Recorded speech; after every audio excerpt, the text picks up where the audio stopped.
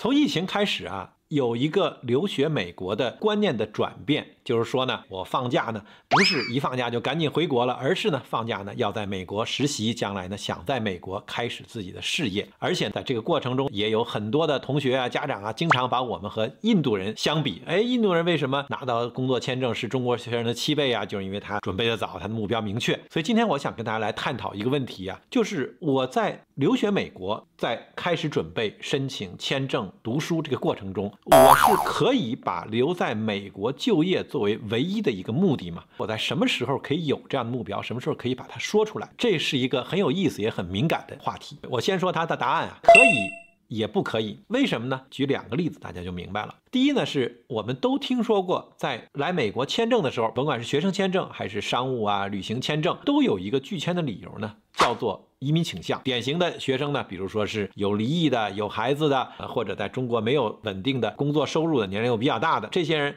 想留学或者是来旅游呢，那很有可能会被移民倾向这个理由呢。会拒签，那为什么是这样呢？因为美国的留学签证啊，它是一个单一目标的签证，它不是双重目标签证。单一目标呢，就是我来留学美国，就是要拿到学位，拿到学位以后呢，我要证明我是要回国的，这叫单一目标。所以你在申请美国的签证的这个时候，是不能够流露出自己的决心是要学成了以后要留在美国的，而是问到这样的话，你的标准答案呢，是我学成以后要回国。但是呢，你说我来了以后。我的观念改变了。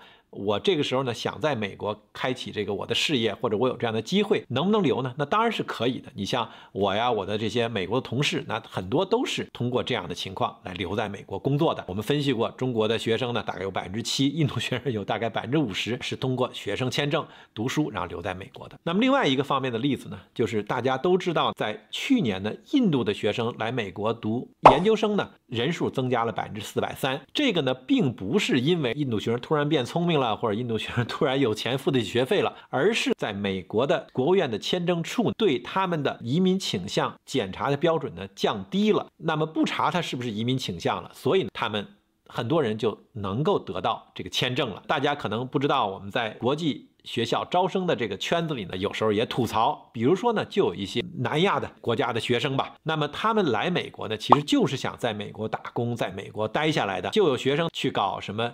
机场消失的，就是我拿着二零进了美国呢，哎，我这个人就不见了，就去打黑工去了，或者呢，还有叫什么机场转学的，就是进机场的时候呢，进海关拿的是一个。很有名的一个大学，比如说加州州立哪个大学，那我来了以后呢，可能就转到一个便宜的一个野鸡学校，就为了打工挣钱。这些同学呢，就是咱们所说的以就业导向来美国的同学。当然，我们中国的学生呢，对学术上更加注意，而且我们的经济条件呢也会更好，做事情更保守。所以呢，我们来美国呢，目标呢就是哎种瓜得瓜，种豆得豆。而这些。以就业为导向的学生呢，哎，我的目标呢，这个瓜不重要，就是为了拿这个豆儿，这个呢还是很不同的。所以呢，我最后总结一下呢，在美国签证和入关的时候，是会检查你是不是有移民的倾向，所以在这个时间心思目标要放在学业拿学位上。但是你到了美国以后，你可能会有不同的机会、不同的观念，你在美国的境内去找实习啊。去就业啊，只要是在法律允许的范围当中，你能够有这样的价值，这个是完全是可以的。嗯，所以呢，来美国以就业导向呢是